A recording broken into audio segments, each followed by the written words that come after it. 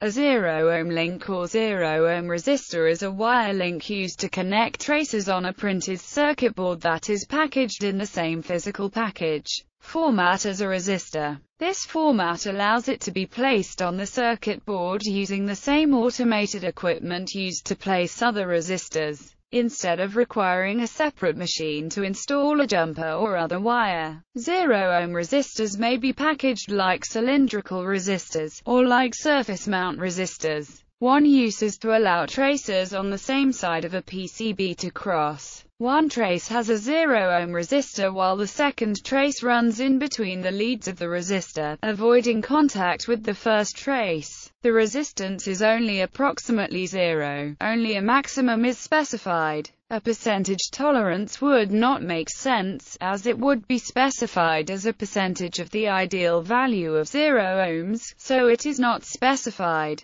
An axial lead through hole 0 ohm resistor is generally marked with a single black band, the symbol for 0 in the resistor color code. Surface mount resistors are generally marked with a single 0 or 000. Design considerations in practice, zero-ohm resistors can be useful as configuration jumpers, but caution is exercised for PCB board designs which may use zero-ohm resistors to select between options which require larger trace currents in the design. For these situations, it is better design practice to specify a specific low-ohm resistance, such as a 0.001 ohm to 0.003 ohm resistor, rather than the generic 0-ohm resistor in which the actual resistance may be higher, and tolerance is not given. The low-ohm resistors are easily obtained with 5% or 1% tolerances on a maximum specified resistance and can be safely utilized to pass much higher currents.